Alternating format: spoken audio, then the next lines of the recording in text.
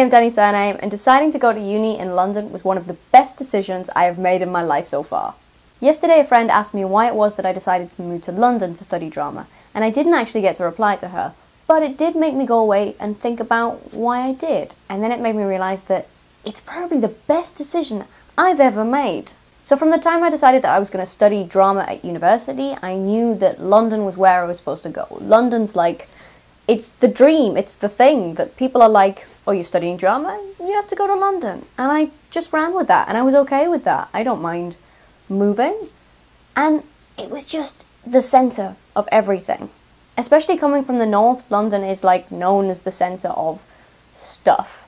It's the centre of theatre, it's the centre of politics, it's the centre of other exciting things. So it was just a given that if you wanted to study drama and you were going to move, that's where you were going to move to. But thinking more in depthly, I've come up with three reasons why moving to London to study drama is an awesome idea. Number one, like I just said, it is the centre of everything, which means it's the centre of theatre. You can literally just walk out the door, get on the tube, and see a piece of theatre. You can just turn up to stuff, which is incredible, especially coming from up north where there weren't that many theatres, and the theatres that you went to, you had to book and you had to travel to to get there there's so much more diversity in what you can see here that it's mind boggling, it's astounding. And a hard thing to come to terms with is actually realizing that you can't get to see everything in the same way that you could if you lived somewhere that didn't have as much theatre.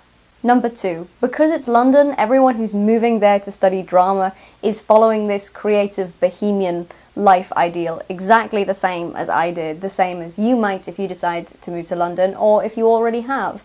And that just creates an abundance of incredibly imaginative and talented people that are just amazing to be around. One of my favourite things about university is being surrounded by all these incredibly creative people who are doing things that I can't even imagine how. And they have these ideas that are just like, wow, like I'm just lucky to be in your presence. And I think a big part of that is because we're in London. These people have committed to what they're doing. They've committed so much that they've moved home, they've moved to a new city, they've moved countries. And that just creates a melting pot of awesomeness.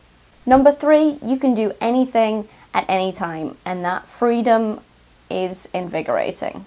It's one of my favourite things about living in London in general, and because of the whole centre of theatre thing, you can see a show at any time, but you can also get involved with any creative activity at literally any time of the day and for any price range because London's so huge and the tube is so.